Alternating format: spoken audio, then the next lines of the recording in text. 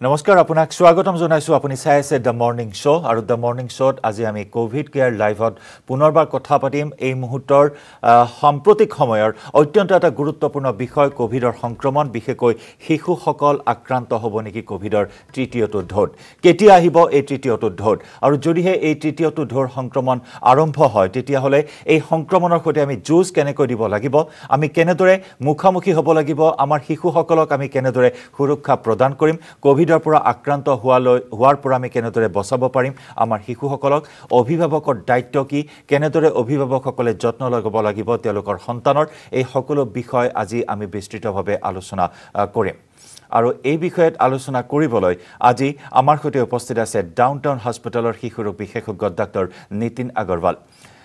Doctor Nitin Agarwal আপোনাক এই মুহূৰ্তত আমি স্বাগতম জনাইছোঁ দ্য ক'ভিড কেয়াৰ লাইভলৈ। প্ৰথমে আপোনাৰ পৰা জানিব বিচাৰিম অত্যন্ত যিহেতু এটা চৰ্চিত বিষয় এইখিনি মুহূৰ্তত। আমাক দ্বিতীয়টো ঢৌৰ সংক্ৰমণে সংহাৰ লীলা চলাইছে জটিল পৰিস্থিতি জটিল সন্ধিক্ষণত আমি থাকিবলগীয়া হৈছে। কিন্তু তেনেস্থলত এতিয়া কোৱা হৈছে যে থাৰ্ড ৱেভ আহিব আৰু থাৰ্ড ৱেভত শিশুসকল সংক্ৰমিত হ'ব। গতিকে তেনেস্থলত আপোনাৰ পৰা জানিব বিচাৰিম যদিহে থাৰ্ড ৱেভ আহে তেতিয়াহ'লে কেতিয়ালৈ আহিব থাৰ্ড ৱেভ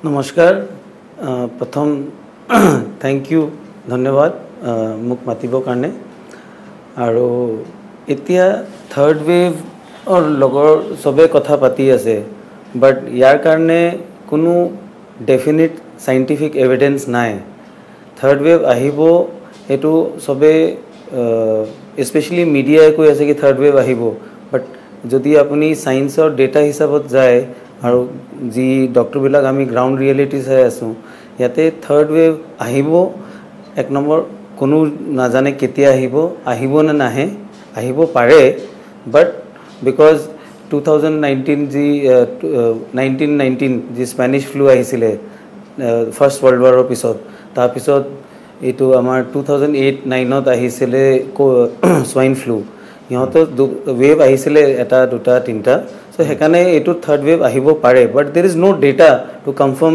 কি কেতিয়া আহিব। আৰু তিনি নম্বৰ কথা আছে কি এইটো অকল বাচ্চাকে সংক্ৰমিত কৰিব এনেকুৱা কোনো চাইণ্টিফিক এভিডেঞ্চ নাই। চ' মোৰ মেছেজ এটাই থাকিব কি আপুনি থাৰ্ড ৱেভৰ কাৰণে ৰেডি থাকক বাট এইটো অকল বাচ্চাক সংক্ৰমিত কৰিব বাচ্চা বেছি এফেক্ট হ'ব এনেকুৱা কোনো প্ৰকাৰৰ ডেটা নাই। সেইকাৰণে পেৰেণ্টছবিলাকক ভয় খাব নালাগে। কি আমাৰ বাচ্চাইহে এইবাৰ সংক্ৰমিত হ'ব আৰু ডাঙৰবিলাক বাচি যাব।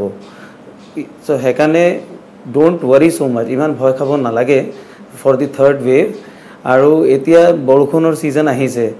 চ' বৰষুণৰ ছিজনত বেলেগ ভেন বেমাৰ আহে Japanese encephalitis dengue malaria typhoid আৰু ভাইৰেল ফিভাৰে আহে। এইবিলাক বেমাৰ আহিব। চ' প্ৰত্যেক জ্বৰ যি হ'ব সেইটো ক'ভিডেই হ'ব সেইটো একা নহয় বেলেগ বেমাৰটোৱে অলপ অলপ আহিব।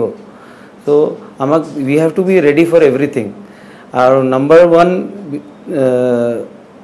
থিং ইজ কি থাৰ্ড ৱেভৰ কাৰণে আমি কেনেকৈ বাচিব পাৰোঁ সেইটো কাৰণে আছে কি আমি ভেকচিন যিমান ডাঙৰ মানুহ আছে যি ভেকচিনৰ কাৰণে এলিজিবল আছে সিহঁতক ভেকচিন ল'ব লাগে। আৰু যোনে ভেকচিন লোৱা নাই ইহঁতক যোনে ভয় কৰি আছে কি কিবা হ'ব ভেকচিন লয় সেই ভয়টো গুচাই পেলাই ইহঁতক সাহস দিব লাগে কি আপুনি ভেকচিন লওক আৰু ভেকচিনৰ কাৰণে এৰেঞ্জমেণ্ট কৰিব লাগে। So' that is the message যি মই ক'ব বিচাৰিছোঁ। হয় আমি কথা পাতিম কিন্তু এইখিনি মুহূৰ্তত দৰ্শকসকলক জনাওঁ যে আপোনাৰ কিবা সমস্যা থাকিলে ফোন কৰক আমালৈ। আমাৰ ফোন লাইন এই মুহূৰ্তত সক্ৰিয় হৈ আছে। শিশুটিৰ যতন সন্দৰ্ভত যদি কিবা আপোনাৰ জানিবলগীয়া আছে সেই বিষয়ে প্ৰশ্ন কৰিব পাৰে। ইতিমধ্যে এগৰাকী দৰ্শক আমাৰ সৈতে সংযুক্ত হৈছে। আমি ফোন কলটো লৈ লৈছোঁ।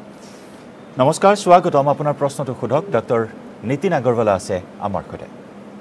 মোৰ নাম প্ৰবীণ কুৰ্মী। হেল্ল' ছাৰ মোৰ কাহ হৈ আছে অলপ জ্বৰ হৈ আছে মানে অলপ অলপ ইমান নাই মানে। কাহ আৰু জ্বৰ এইটো কভিড আক্ৰান্ত হৈছে নেকি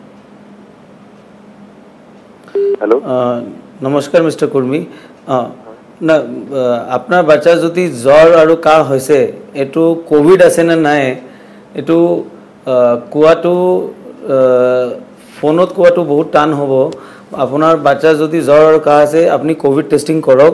ক'ভিড টেষ্টিঙৰ কাৰণে ভয় নকৰিব। প্ৰব্লেম এইটো হয় কি মানুহ যেতিয়া বাচ্চাৰ জ্বৰ কাহ হয় সিহঁতে ঘৰত থাকে আৰু ক'ভিড টেষ্টিং যদি নকৰে তেতিয়া কোনো ডক্টৰ পৃথিৱীত ক'ব নোৱাৰিব কি ক'ভিড আছে নে নাই আপোনাৰ বাচ্চা বিকজ জেনেৰেলি বাচ্চাৰ যি ক'ভিড হয় আমি যিমানখিনি দেখা পাইছোঁ মাইল্ড ক'ভিড হয়। জ্বৰ হয় কাহ হয় অলপ পেটৰ পায়খানা কেতিয়াবা হয় আৰু বাচ্চা উইদিন পাঁচ দিন ভিতৰত সাত দিন ভিতৰত ভাল পাই যায়। বহুত কমে বাচ্চা আছে যাক ভৰ্তি কৰিব লগা হৈছে। চ' আপুনি যদি ভাবিছে কি মোৰ বাচ্চা ক'ভিড হ'ব পাৰে তেতিয়া ক'ভিড টেষ্টিংটো কৰি লওক। ক'ভিড টেষ্টিং চেণ্টাৰ বহুত আছে আৰু মেক্সিমাম জেগাত এতিয়া ফ্ৰী আছে। ত' টেষ্ট কৰি লওক ভয় নাখাব টেষ্টিঙৰ কাৰণে। আন এগৰাকী দৰ্শক আছে আমি ফোন কলটো লৈ লৈছোঁ। নমস্কাৰ স্বাগতম আপোনাৰ প্ৰশ্নটো সোধক। হয় আমি শুনি আছোঁ আপোনাৰ প্ৰশ্নটো সুধিব পাৰে।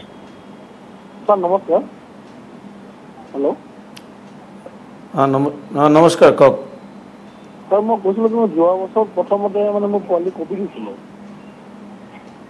যোৱা প্ৰথম হেল্ল' হয় কৈ যাওকচোন আপোনাৰ মাতটো অহা নাই কি কৈছে যোৱা বছৰ হয় যোৱা বছৰ মানে মোৰ পোৱালিটোক কপি দিছিলে যোৱা বছৰ ফাৰ্ষ্ট উইকত প্ৰথম যেতিয়া আহিছিলে তো এবাৰ। কভিড হোৱা ভাল হোৱা এবাৰ কভিড হোৱা ভাল হোৱাৰ পিছত আকৌ হোৱা চান্স থাকে নেকি ছাৰ অঁ চি একবাৰ কাৰোবাৰ ক'ভিড হৈছে এইটো যদি আপোনাৰ লাষ্ট ইয়েৰ ক'ভিড হৈছে